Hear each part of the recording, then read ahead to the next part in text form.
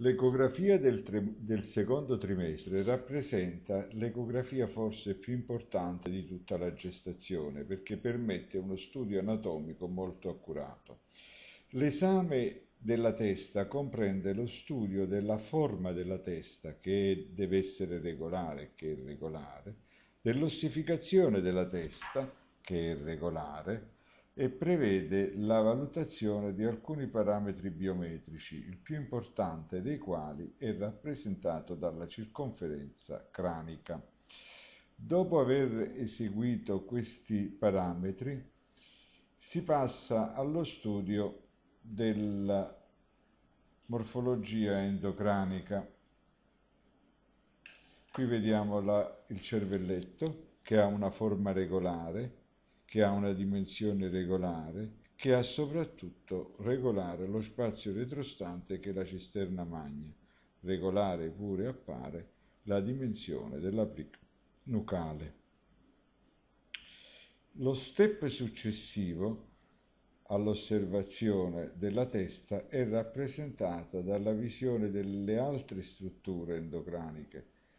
In questa immagine stiamo vedendo l'atrio o trigono dei ventricoli laterali, ripieno dal plesso corioideo dalla regolare ecostruttura, che risulta biometricamente normale sia a destra che a sinistra, con un'ecostruttura normale di entrambi i plessi corioidei. Si va quindi a, a vedere la, rivediamo di nuovo la plica nucale, si va di nuovo a vedere le altre strutture. Qui noi vediamo rappresentati due talami separati dalla linea mediana e qui vediamo in basso la piccola irregolarità dell'insula. Dopo di ciò si passa allo studio del diametro della faccia. Qui vediamo il diametro bisorbitario che è regolare. All'interno del diametro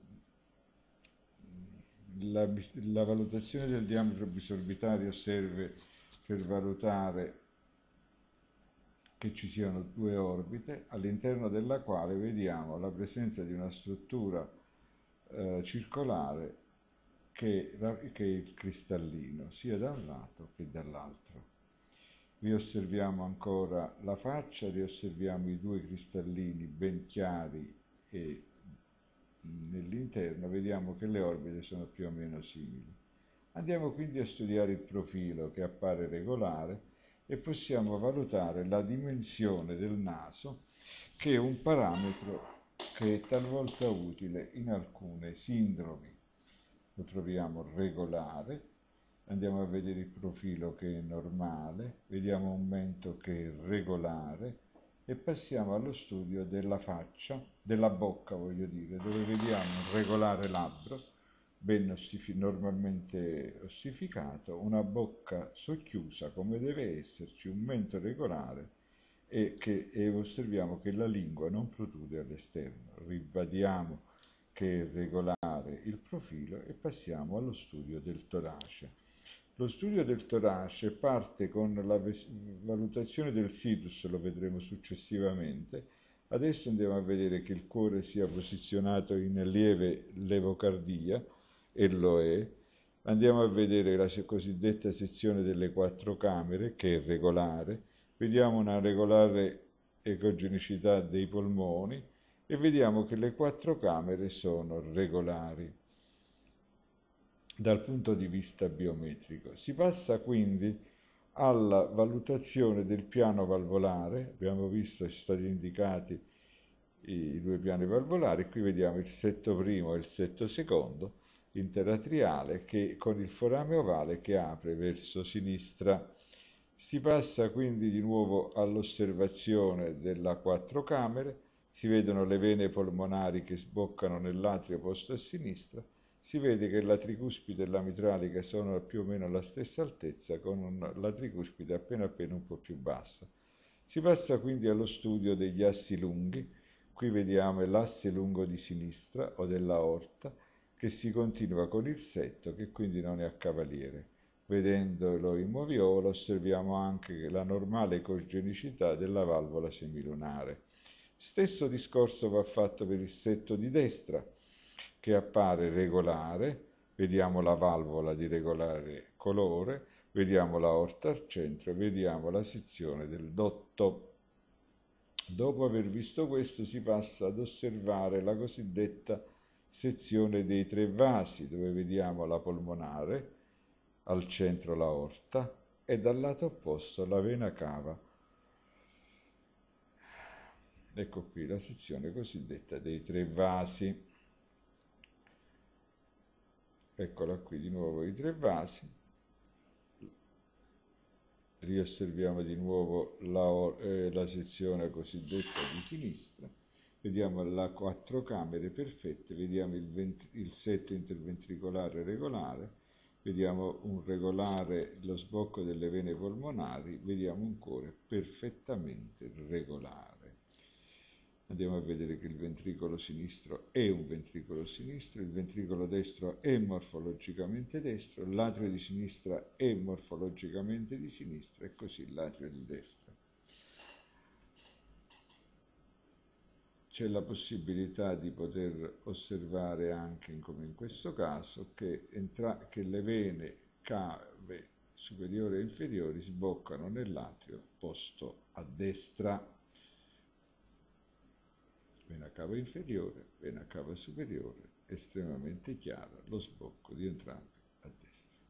Osserviamo bene l'arco della orta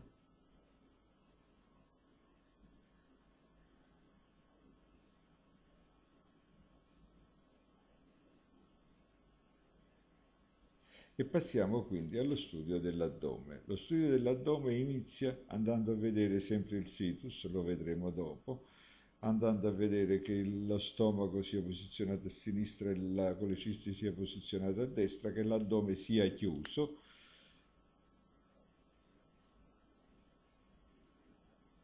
Andiamo ad eseguire la biometria dell'addome, che è il parametro più importante per valutare l'accrescimento ponderale del feto,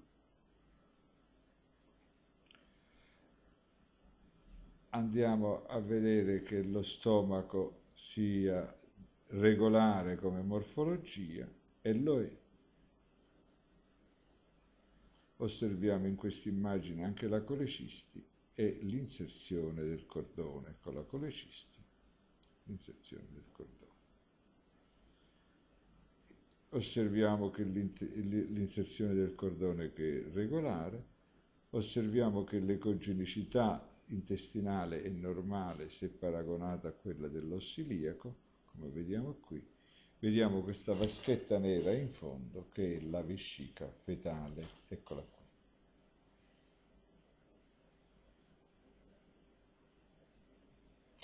Si devono andare ad osservare i due reni, i reni sani i reni regolari non sono sempre facilmente eh, evidenziabili, ci vuole un'ottima apparecchiatura e un'ottima vista. Entrambi i reni vengono visti, vengono delimitati con dei piccoli marker per far capire qual è il rene, la morfologia è perfettamente regolare, come è facile vedere un rene malformato, così è difficile vedere un rene sano.